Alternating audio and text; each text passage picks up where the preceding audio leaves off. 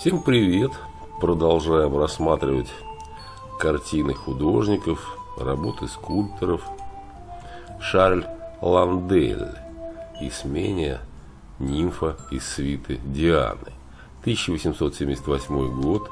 Холст масла 130 на 87.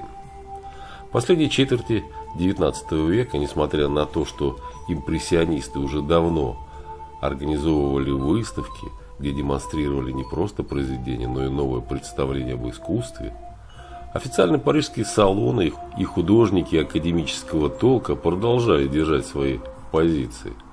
Одним из подобных приверженцев мифологических сюжетов и гладкой фактуры был Шарль Ландель, учившийся у Поля Делароша и Ари Шефера. На картине изображена одна из спутниц богини охоты и покровительницы всего живого на земле Дианы, незримое присутствие которой обозначено атрибутами – луком, колчаном со стрелами. Живописец избирает традиционный мотив купальщицы.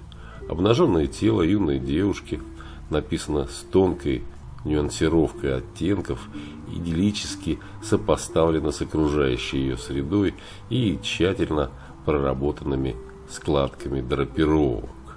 Ну вот такое описание к работе и смене нимфа из свиты Дианы, 1978 год, холст масла, автор Шарль Ландель, я нашел в интернете. Пока-пока, до свидания. Текст по книге «Великие музеи мира». Всего хорошего, до свидания.